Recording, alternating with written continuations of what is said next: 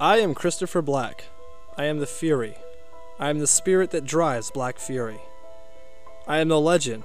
I will reap my vengeance on those who practice to deceive, those who cheat and steal from the innocent.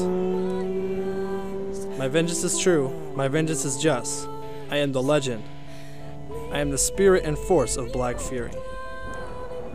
Deceit and murder have brought me here, and these are the reasons I owe my existence. Habitual liar and deceiver, the lowest form of creation known as man.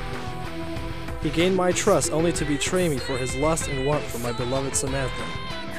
Samantha Cooper, love of my life, keeper of my heart. My love for her is my driving force.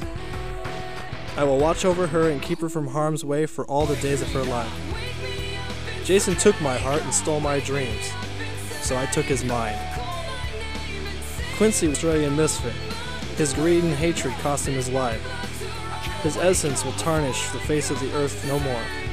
My vengeance is true, my vengeance is just. Jack Quigley, deceiver and thief, leader of the group that shattered my dreams.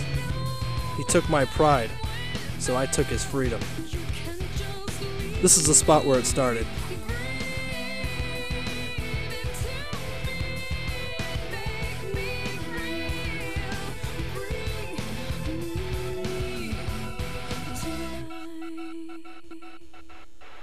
Those of you who plan to deceive, beware of my wrath.